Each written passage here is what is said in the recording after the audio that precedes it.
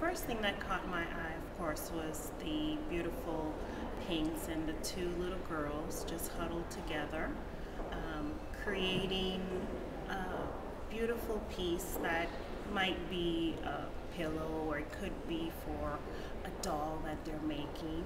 So um, I remember attempting cross stitching and they just look so intense trying to make this pattern.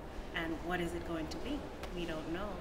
It looks like they're having a lot of fun doing it, and the colors are really just so expressive in terms of what they're doing.